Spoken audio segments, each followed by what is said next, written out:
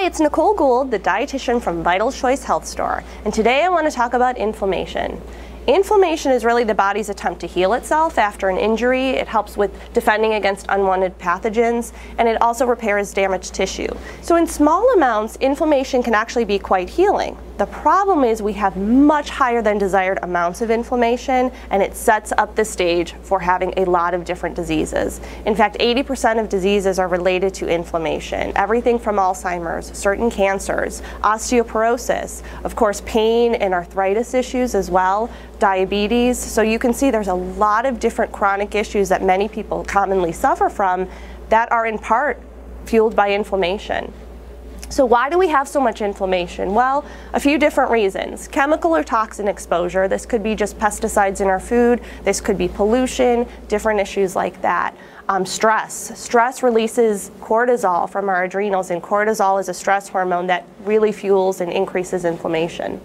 And of course, something that's very close to my heart is our diet.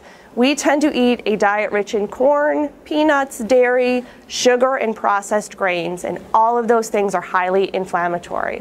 When you also take into the account that we don't eat many foods that decrease inflammation, we are very imbalanced, and that's what is really, I believe, fueling a lot of different disease states. So what can we do about this inflammation? Well, of course, diet is a great place to start. We can increase our healthy fats, things like olive oil, um, avocados, walnuts, and definitely wild fish. We really should be eating wild fish three times a week. Wild salmon, wild sardines, wild tuna, any of those fish are very rich in omega-3s. Omega-3s I think are pretty big. You've probably heard about them by now, but one of the great benefits is decreasing inflammation. Our diet, like I mentioned, is so high in omega-6s that are inflammatory and so low in omega-3s, and we really want to make that a lot more balanced or even increase the omega-3s a little bit higher than the 6s, just so we can put that um, inflammation at a decreased rate as much as possible. That is going to set yourself up for optimal health. You're going to feel better, probably won't have as many pain issues, and it will certainly lower your disease risk. So increasing your healthy fats is a great place to start. Decreasing processed foods and sugars, that's a big one because again, those really fuel inflammation.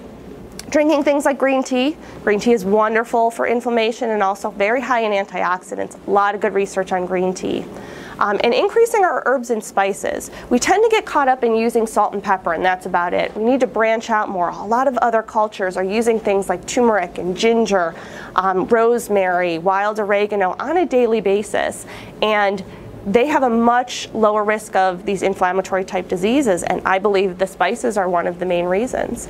If you're looking to just be proactive and prevent and maybe just set yourself up for optimal health, using spices in your diet can be a great way to do that.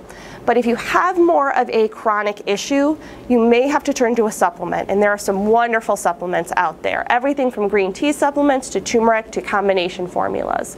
One great formula is by New Chapter called Zyflamend, and it combines the green tea, rosemary, oregano, ginger, a whole list of different anti-inflammatory type spices. So when these herbs are put together, they have a great uh, synergistic effect at lowering inflammation, much greater than taking any one of those spices by themselves.